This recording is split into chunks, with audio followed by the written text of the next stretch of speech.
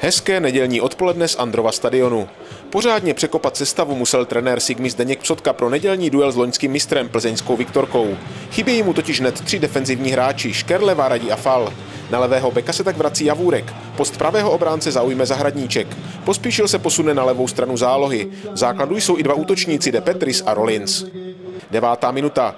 Hosté se snaží něco vymyslet před velkým vápnem Sigmy.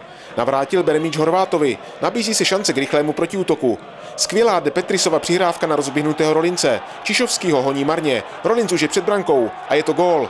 Olomoucký forward navázal na poslední zápas v Jablonci a opět se prosadil. Kozáčik neměl nárok. Olomouc vede 1-0. Olomoučané pokračují v aktivitě. Na pravé straně má míč Rollins. Vrací ho De Petrisovi. Ten nádherným a chytrým obloučkem hledá navrátila. Kozáčik byl u míče dřív. Plzeňané ve čtvrtek předvedli výborný výkon proti Lyonu. V Olomouci jsou ale možná trochu zaskočeni vysunutým presinkem domácích.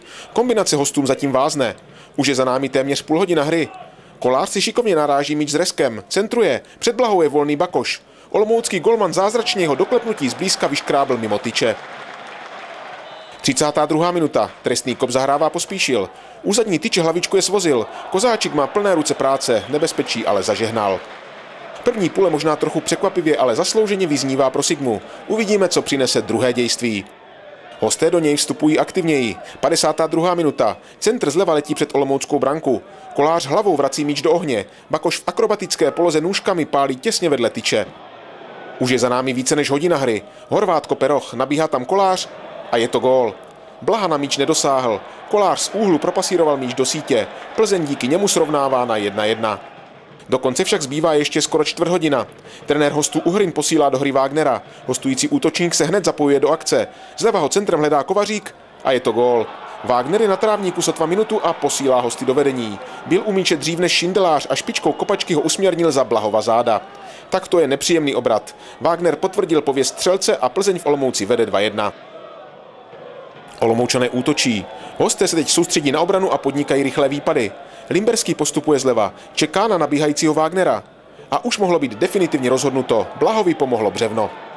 Závěrečný hvízd se nezadržitelně blíží, zoufalý tlak Sigmy vrcholí, dlouhý nákop letí do 16 hostů, chorý prodlužuje k Pleškovi, jeho ránu z voleje na dvakrát likviduje Kozáčik. A je konec. Sigma po slíbném začátku a výborném prvním poločase po změně stran dvakrát inkasovala a Plzeň si tak z Olomouce veze vítězství 2-1.